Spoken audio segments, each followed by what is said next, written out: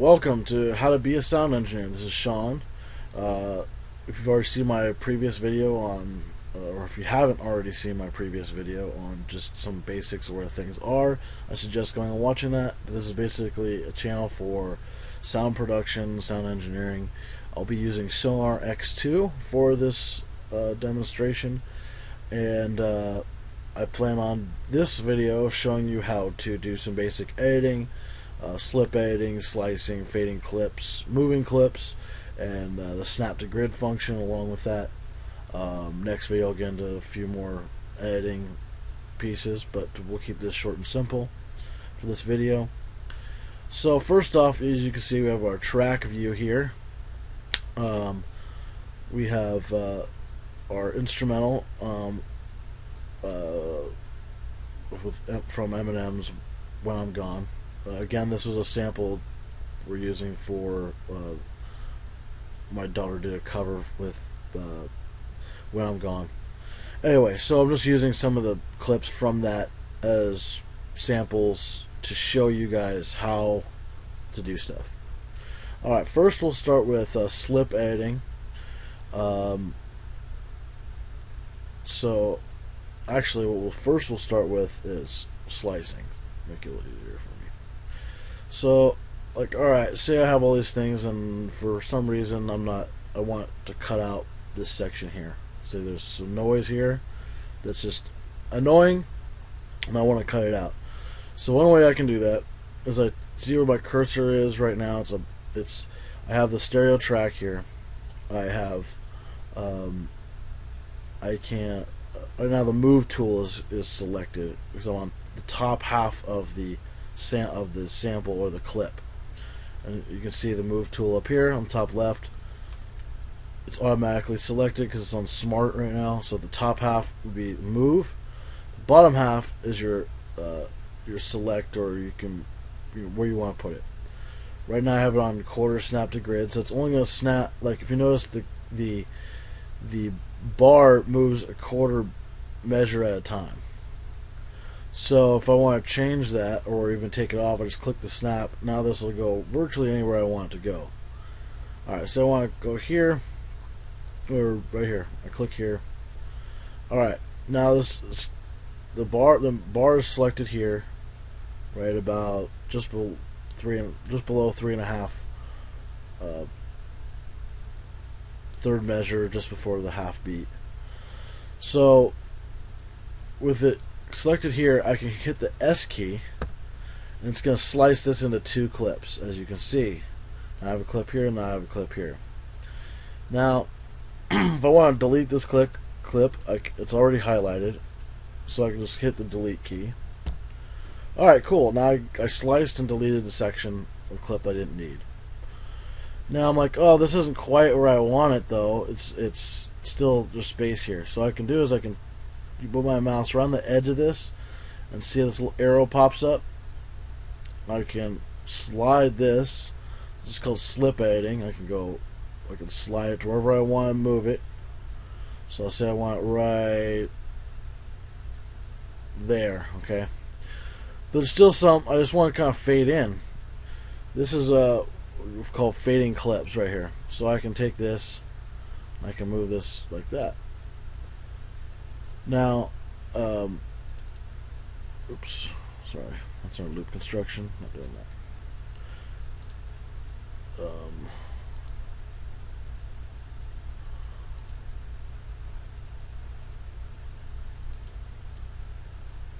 so I, I, can drag this. See how the uh, uh, sound wave. Sorry, my brain is not working right now. Bear with me.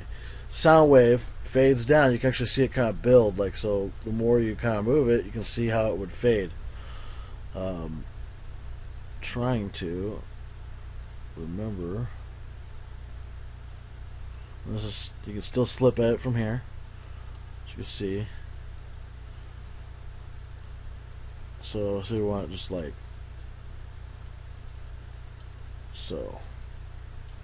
Cool. That's right where we want it. Alright. Now, I can also use the snap to grid function here. It's on quarter, I can put it to half, I can put it to eighth, sixteenth, even all the way down to 128.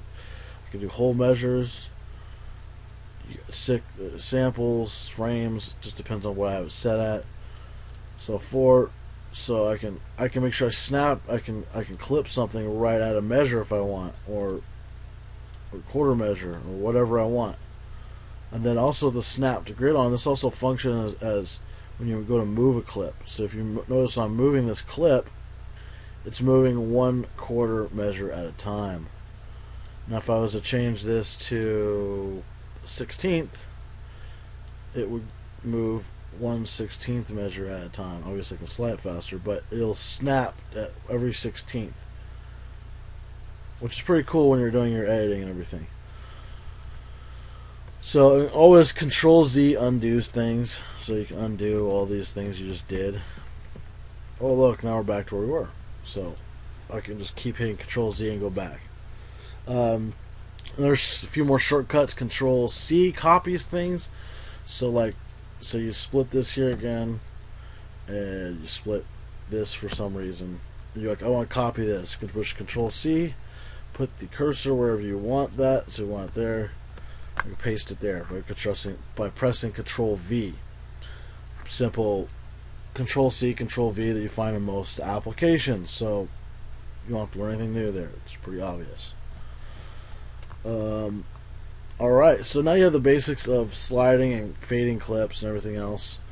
Um, and that should give you a good start for where you want to, as you're editing, as you're recording stuff, and you want to move things around.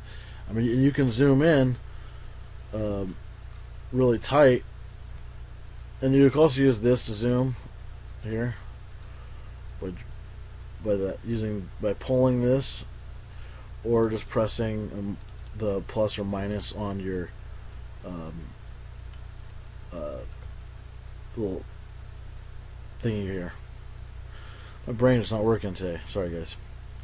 And the same applies for this for the zoom vertical in and out. This is the zoom horizontal. So, like, if you wanted to move a syllable, I could take the snap off. Usually, when you're doing this final work, you aren't. So you're like, oh, okay, I want to, I want to cut it here and cut it here. And I want to move this over a little bit, you can do that.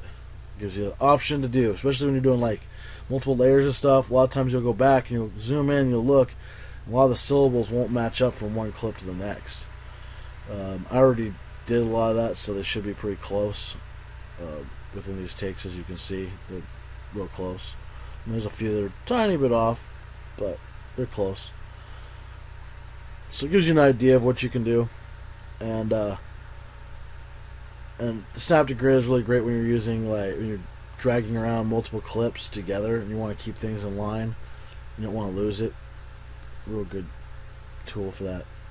Anyway, I hope this was helpful, and uh, we'll see you on the next video. Um, don't forget to subscribe. Um, this is how to be a sound engineer. Hit the subscribe button, hit the thumbs up, and uh, have a great day. Good luck. Bye.